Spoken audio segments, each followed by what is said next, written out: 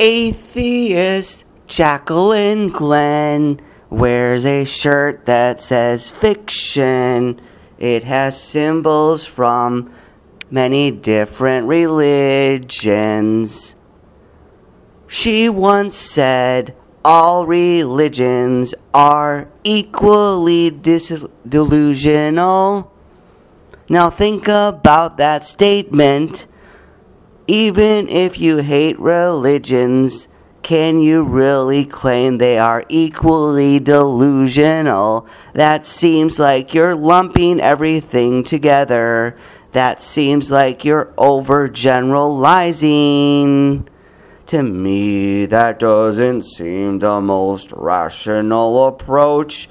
It's not very nuanced, not very critical, not very intellectually deep.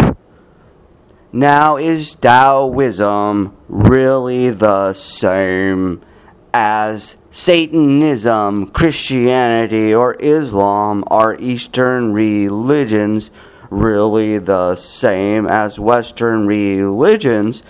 Now, I once read an atheist book that admitted not all religions are exactly the same.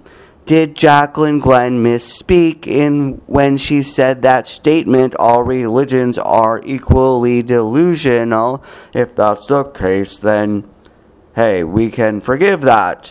But it seems like she really means that because she insists on wearing that shirt. That shirt is not the best statement because they're not all equal. Some religions are better than others. Even if you have to admit there is no God, how can you say all religions are equally the same? In fact, to put it another way, religions also have different denominations of varying rationality. Some religions are fundamentalists, and some religions are more liberal minded. Some religions are politically regressive, and others are politically progressive. Atheists too often don't see the nuances of religion, and that's why I can't be an atheist like Jaclyn Glenn because I see the nuances.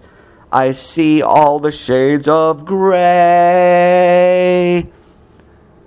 And I believe in God. There's just some religions I don't like, some religions I do like. How can that be? That atheists will lump them all together because when they do that, it's easy. It's a straw man. Atheists have straw men too. So don't be like Jaclyn Glenn. Have a more nuanced view of religion, and God.